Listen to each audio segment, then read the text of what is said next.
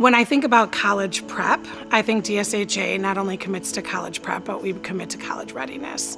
So academically, students are gonna walk out of here fully prepared for college. From their courses that they take to the writing that they have, they are going to enter the college environment and they're going to be confident in their academics. We hear it time and time again from alumni that come back. We also hear it from professors at colleges and universities that our students are coming fully prepared. They are able to traverse very difficult courses in college because of the incredible amount of work that they did at DSHA that prepared them in terms of critical thinking, problem solving, uh, oral and written skills. They really, as the seniors feel, we can take on the world no matter where they go to college. And they're very successful women.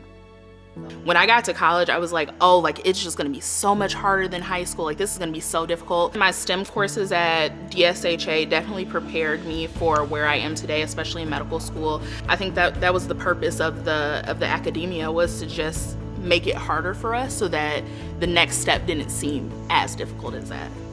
When I look towards college, I definitely think I'm going to be academically prepared. It's obviously hard to see what exactly the college rigor will be, but based off of the academics and the opportunities I've been given at DSHA, I feel confident in my STEM abilities and my paper writing abilities from English class and my theology and everything that I've learned and I know that's going to prepare me very well for the next steps in college. Teachers and the staff are really committed to helping you and building you and just like being there for you when you need it. And I think that's something that's really helped. And I know if I went to a bigger school or had stayed at my old school, I wouldn't have probably have gotten that one-on-one -on -one attention that I really think has helped me succeed when it's come to college admissions.